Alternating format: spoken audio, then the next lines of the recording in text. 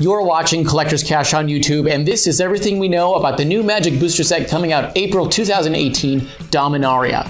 Now, a little history lesson Dominaria is the biggest and most important plane in all of Magic's history.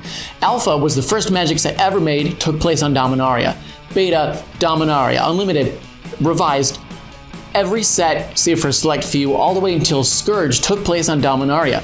There were a ton of iconic characters and creatures and spells, and we haven't seen them in a very long time. And speaking of a long time, the last that we saw Dominaria, the whole plane had been left in ruins by, well, a good few things.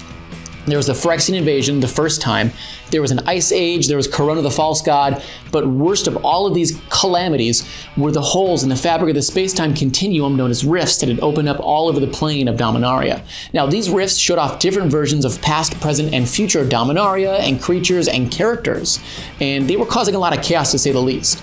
Now, eventually the wizards managed to learn enough about temporal magic and what have you to seal up all these rifts and fix some of the damage that had been done. But it's been a long time since we've seen what's happened, and we don't really know what's going on with a lot of these characters. Anyway, you can find out with us when the set releases on April 27th, 2018. In the meantime, pre order all of your booster boxes, bundles, Planeswalker decks, booster packs, and more online at collectorscache.com. Stay tuned for more updates, and thanks for watching.